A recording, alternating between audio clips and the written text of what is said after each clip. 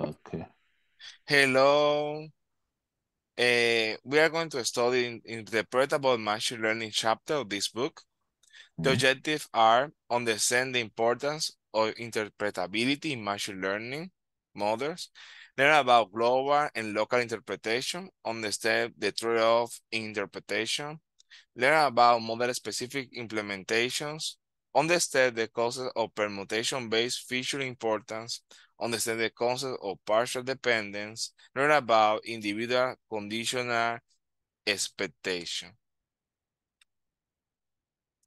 So, the introduction. Models interpretability are crucial for business adoption. So if you want a business to use a model as the core of the business, they need to understand it. For model documentation to explain how we do the decisions, how we are using this data and no other one. Uh, regularly, regularly oversight and human acceptable and trust. So you want a department to use your model, yeah. And also oversight like uh, checking the ethics of, of your model. So interpretable machine provides a solution to explain different levels. Global interpretation explains how the models make predictions based on a holistic view of the features. They can explain which features are the most influential via feature importance, that's the methods that we use, and how influential variables drive the model output. Feature effects. Lo the, the local interpretation becomes very important when the first when the Fed or most influential model feature doesn't uh, the most uh, doesn't the big feature maybe I have written here but it's like when you cannot explain why we have particular prediction based of the main features. Uh, maybe that's really helpful when you have false positive or false negatives uh, values. You want to explain, you really need to understand why is the model taking consideration to to have that bad prediction. That that's really useful in those cases, but also to explain uh, why we are predicting high values or lower values for a particular value you are using for a regression. Uh, log interpretable models allow to explain, explain uh, agnostic explanations like LIME. We also have uh, Shapley values and localized stepwise procedures. So that's the the main ones for for, for explaining local values. We're going to use this package, split the data, and, and save as H2 file, uh, H2 data frames. And we are going to train the model. In this case, we are going to use an the sample model last chapter. That is a really good continuation. Like we were, okay, they, there's no any interpretation for this model display. No, we can use uh, another technique to interpret this one. So it's a really good news for the stack models. And also we can select the, the highest and the lowest predictions to understand what is driving each of them.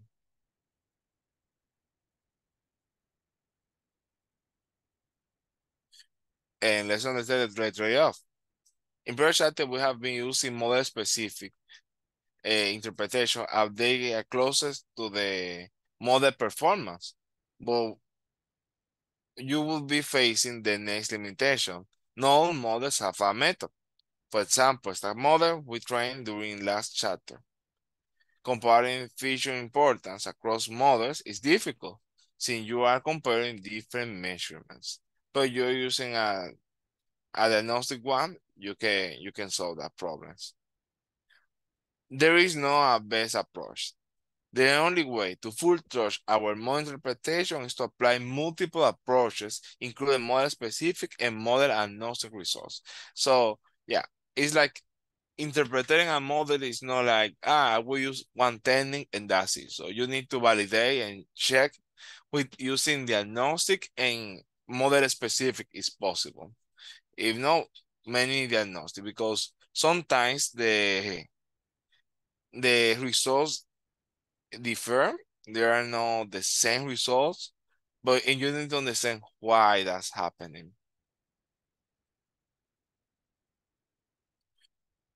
So I took some time to to to read the documentation of the the vip package for model specific. And we can see that some description of the methods work. Uh, some use permutation, sampling with a replace with, with a replacement. So it's like we have a, a really good picture in the next one because permutation is the next topic. Like I have this column with this order, and then we sample, we are replace. So we are, you are not going to repeat any of them, but you are going to change the order and that like cancel the effect of that column. That's a general general technique, but also some of them use that. So for you are using the LM function to create a linear model, they are taking the importance of the variable based on the T statistic.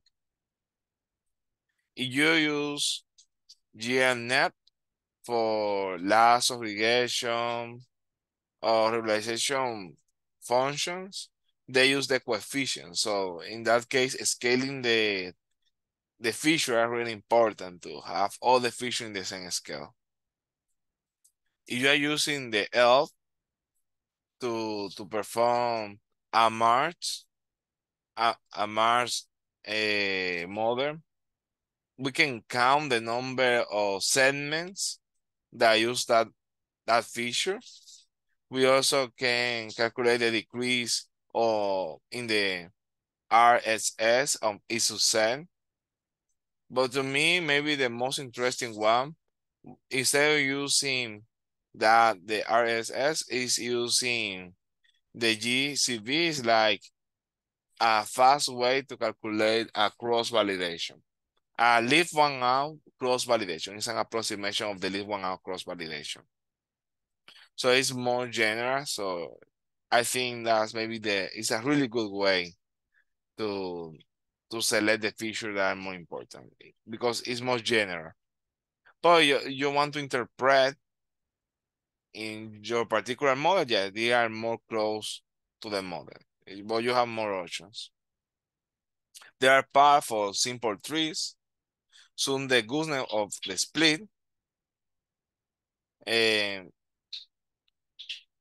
so that that's the reference that I use to to know that oh the feature more important or that all the base of how much is reduced. For random forest, uh, we have also two options in, in the type.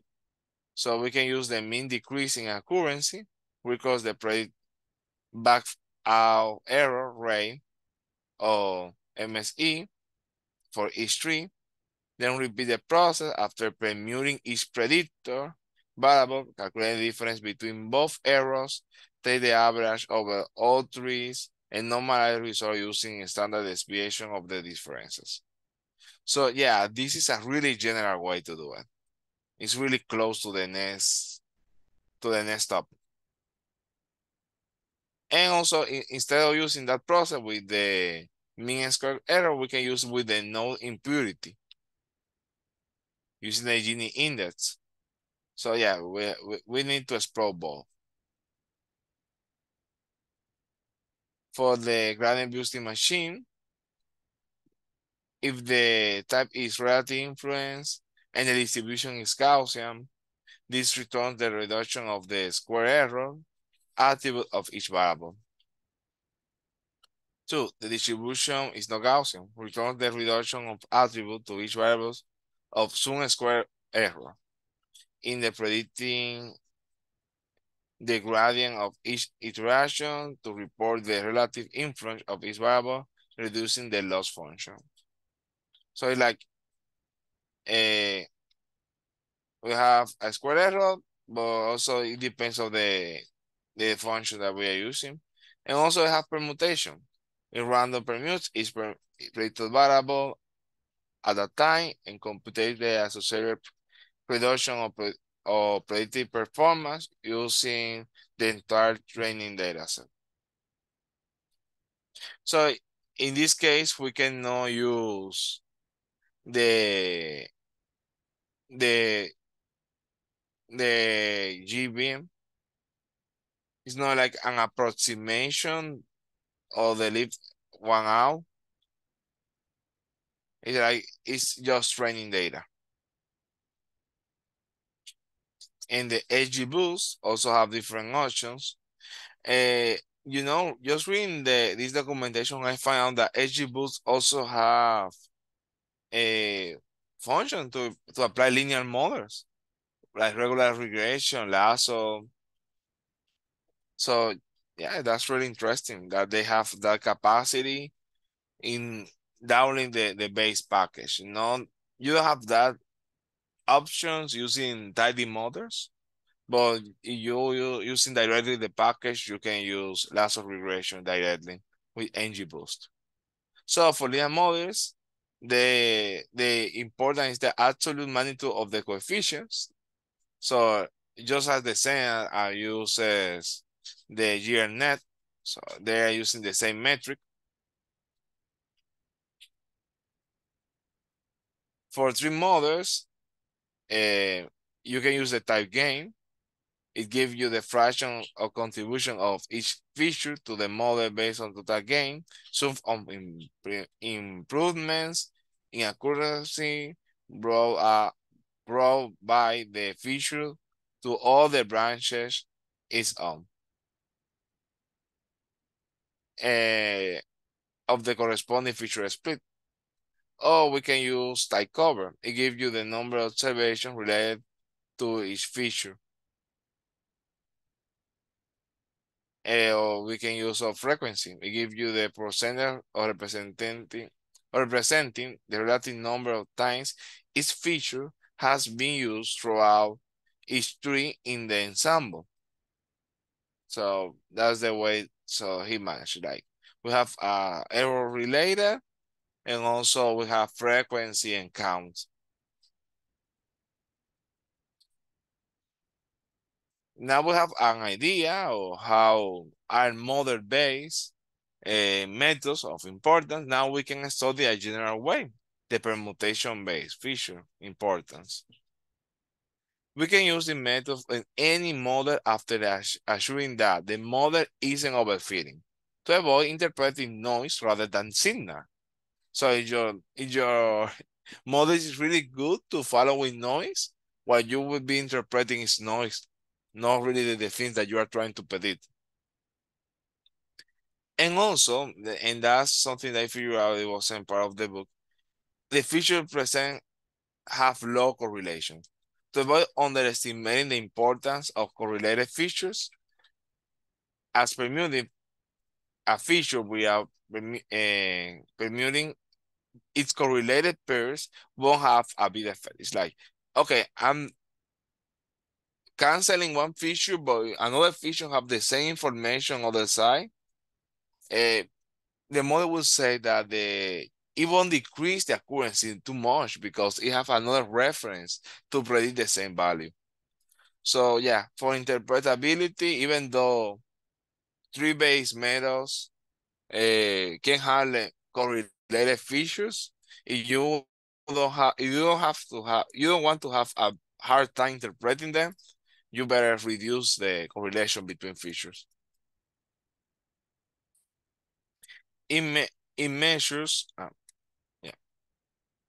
it measures features importance by calculating the increase of the model's prediction error by taking the difference of the absolute values or ratios to interpret relative values of a metric like RMSE after permuting the feature. I describe the, the, the going below, but also we can use this as a reference. Like we have this, this, this original data set. We train our model, we calculate our base error. So that was the picture I found, but well, this function works the other way around. You will take the software and then minus the base. And then you software, you permute that column, you calculate the same, a different error, and you take the difference, or maybe you can take the radio. And, and that's it, that's a really simple process. And you need to repeat it for each column.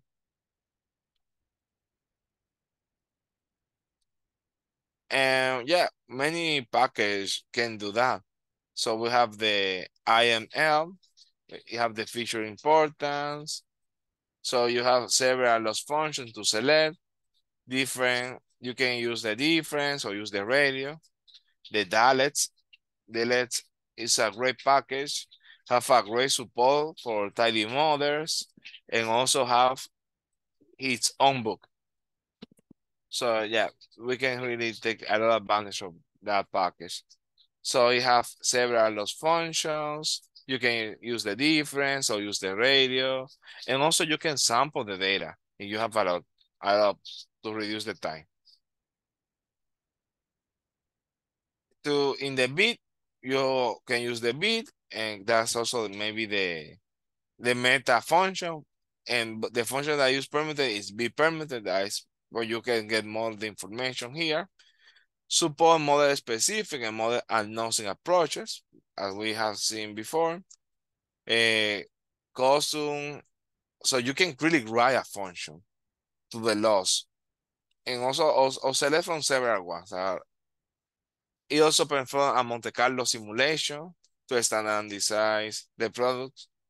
Uh, I don't really know why. This is an advantage, but they do it. It can sample the data so based on sample size or sample fraction, it can for parallel computation, if you set the parallel ones to true, that's not the that's not the default. You need to to set it as true. And okay, and yeah.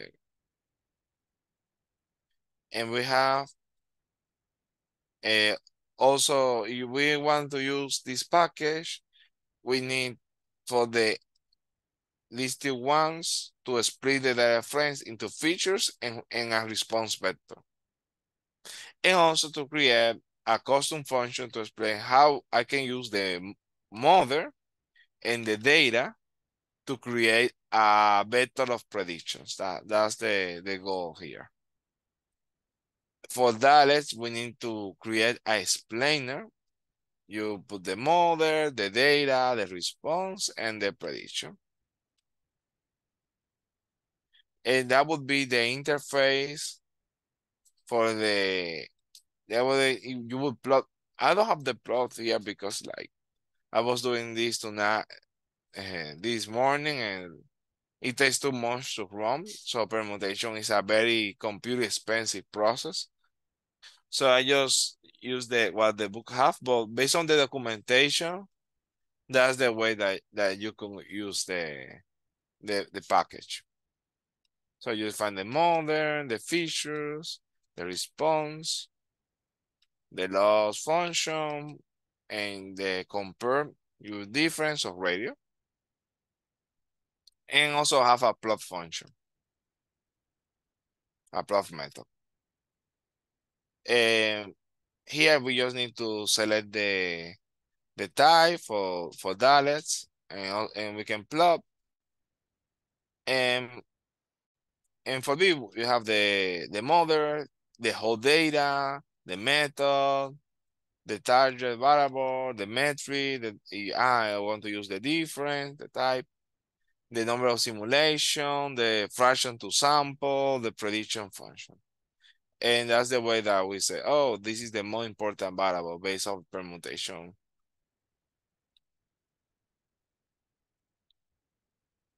And now we have the partial dependence. I don't have if you have any comments before going to that part related to this method. Uh, Angel, I have one comment. Yeah. Yeah, uh, the H2O, uh, you know, library, it also has uh, certain functions for uh, model explainability. Okay. Uh, so uh, I don't. I, I think they are if I- like model specific. No, I think they're more specific. Yeah, but uh, if they, they use, uh, I, I know that they use uh, variable importance and also uh, PDPs. Okay. Oh, for well. the, for for for the explainability. The only thing that I don't remember is that if it works for the stack ensemble. Okay, because if you use the AutoML in H2O, uh, usually you get uh, two models for uh, for the stack ensemble. But for the particular models, you can get explainability right from the H2O.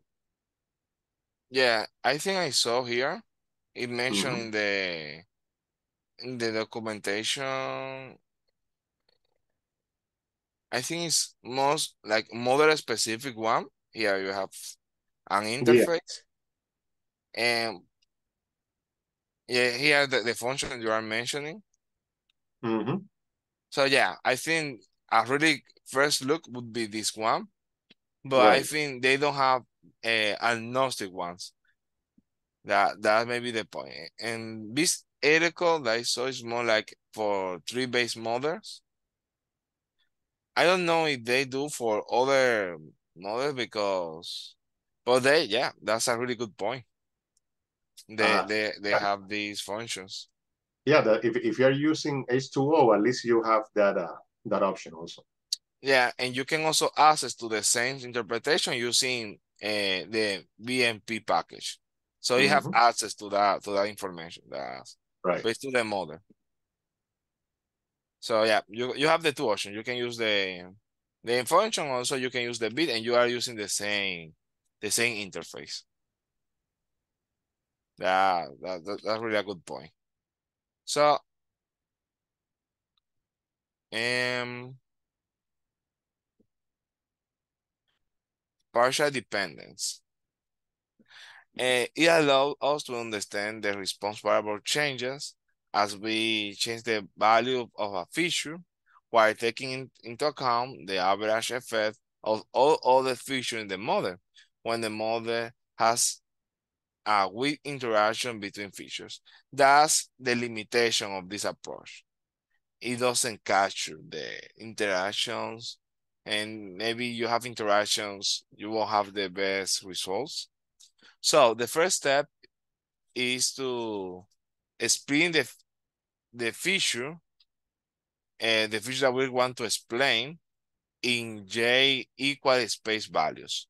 For example, if we select 20 for the for this leaf area, uh, we could use then we could get it using this code. So this is the mean value, the max value, the variable, and how many steps do you want? The length.out part, and you can have 20 values all the way around. So that that that's the concept. You you are splitting your your feature in in J parts. And then you need to make J copies of the original training data. Each copy, uh,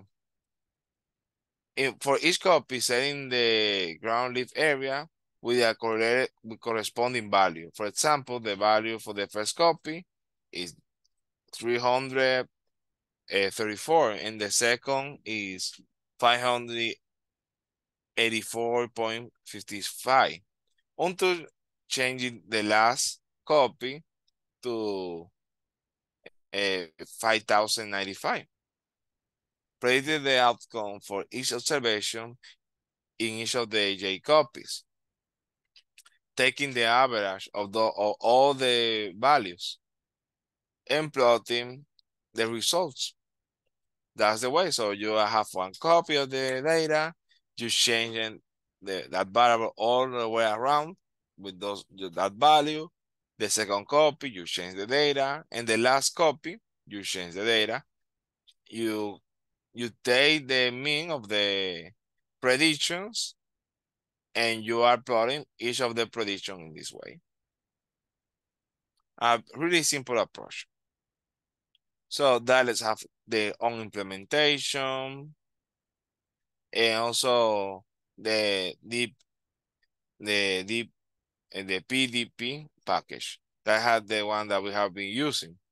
And as we are using a stack model, we need to define a custom function to handle that. And have the grid, and here we can see the results. And also have a function to, to, to plot the, the results. So basically, as we increase the leaf area, yeah, it is higher the, the price. Uh, it, oh, we can also use this metric, the partial dependence, uh, as a feature importance one. So we can assure that the we can assure that those features with larger marginal effect on the response have a greater importance. This is really useful to create plots, uh, create plots of both feature importance and feature effects. So you can use the the firm method. That's the, the new method. The, the book said that it's PDP, but it was deprecated and you use the firm um, and select the feature that you want to use. And you need to set ICE, that's the other method, to false because the, the, the default is the other one, it's not the PD one. So you can, yeah, it's, this is true for this method and the next method that, that we are going to study.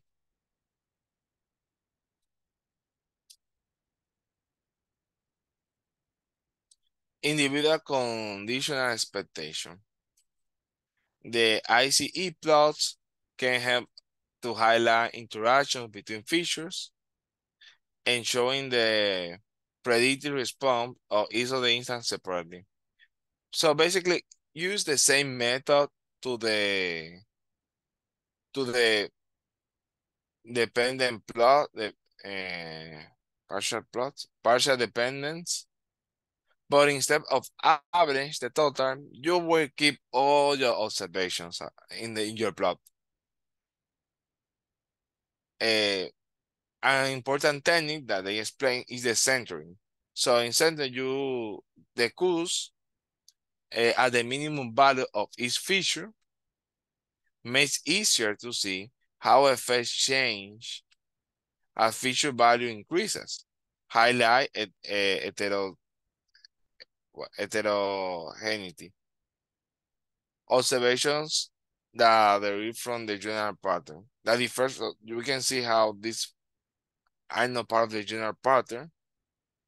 So yeah, if you have if you after applying this method have a chart like this that you don't you don't see any effect, you can try to to center uh, to center that that plot just using center equals true.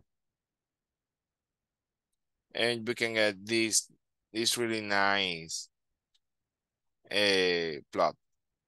We can see, for example, an increase, but the increase is not as big as we saw before.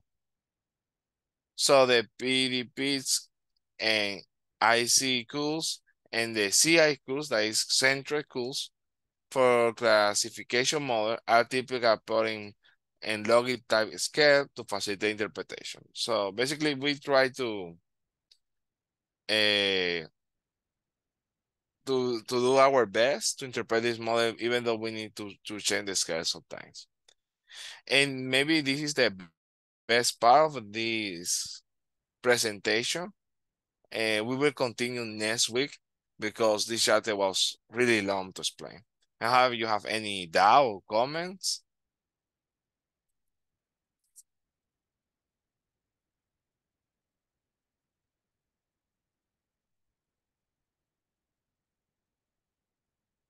Hello, you with me? Mm, no, we're good.